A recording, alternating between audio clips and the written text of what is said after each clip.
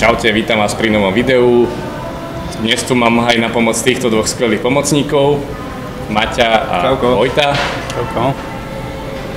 Takisto tu máme aj tento skvelý trailový Mondraker Chaser a na ňom si dnes ukážeme nejaké doplnky, ktoré sú viac vhodnejšie na e-bajky. Uh, jednak sú to doplnky, ktoré sú trošku vyššej cenovej kategórie a aj samozrejme kvalitnejšieho spracovania.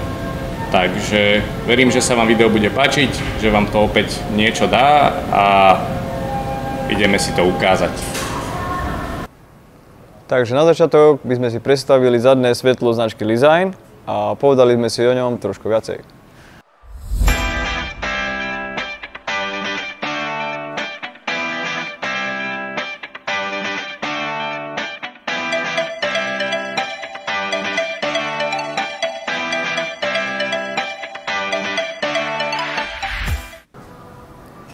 Takže toto špičkové svetlo poskytuje svietivosť až 250 lumenov, je odolné, ľahké a vodeodolné.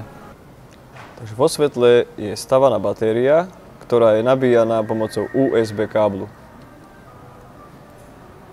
Osvetlenie zabezpečujú 4 LED diódy a z boku bezpečnostný prvok lasery.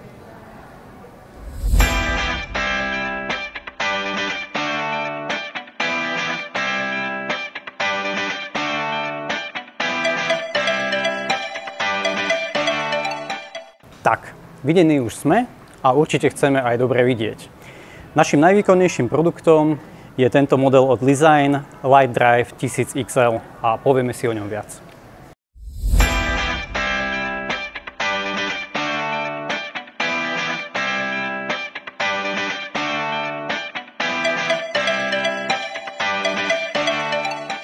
Tento model je ľahký, mimoriadne odolný a vodeodolný, má výkon až 1000 lumenov, ktoré zabezpečujú dve silné diódy. Chladenie je zabezpečené rebrovaním a výdrž batérie je až prakticky 87 hodín, čo je veľmi dostatočné, zároveň nabíjateľné USB. Keďže našou prioritou je bezpečnosť zákazníka, preto mu odporúčame aj tie najkvalitnejšie produkty. Ako napríklad túto Enduro prilbu od značky Bole, modelu Trackdown s ochranou MIPS.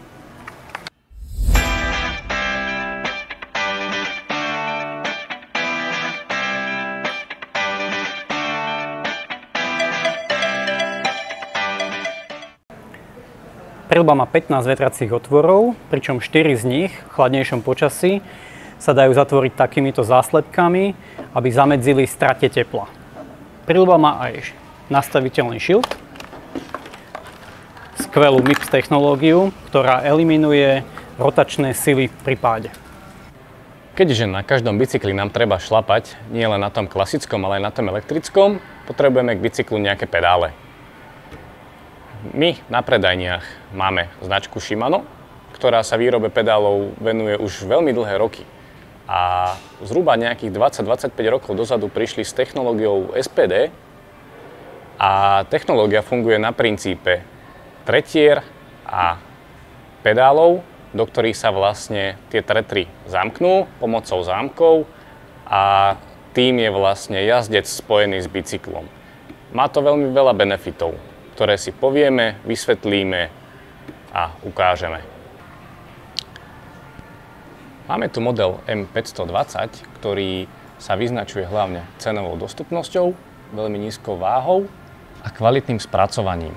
Je to pedál, ktorý využívajú hlavne XC-čkoví pretekári a takí, ktorým záleží na celkovej hmotnosti bicykla. Ďalej, model ME700. Už na prvý pohľad vidíme rozdiel medzi klasickým SPDčkom a týmto vlastne máme tú ochrannú klietku, ktorú používajú hlavne MTBčkoví pretekári kvôli nejakej bezpečnosti, stabilite a hlavne opore tretier. Ďalej máme tu tzv. takýto obojživelník, ktorý je z jednej strany SPDčko, z druhej strany je to pevná platforma, ktorá má samozrejme meniteľné a nastaviteľné piny. Je to veľmi skvelá vec, je to univerzál, ktorý vieme odporučiť na akýkoľvek bike, s tým, že zákazník vie mať aj tretry, aj klasickú obuv. Takže chce ísť jazdiť, dohovor na nejaké cyklotraily, alebo vezme si bike a ide s ním len tak jednoducho do mesta alebo na nejaký nákup. Na záver si predstavíme posledné vybavenie, ktoré nesmie chýbať u žiadneho cyklistu. Jedná sa o nejakú podsedlovú taštičku, náhradnú dušu, montpáky, sadu na opravu defektov, multikľúč a nejakú pumpu s CO2 bombičkami. Takže dnes nám na ukážku našich cyklodoplnkov poslúžil tento e-bike značky Mondraker. Jedná sa o model Chaser. Je to šikovný, obratný e-bike na 29 kolesách.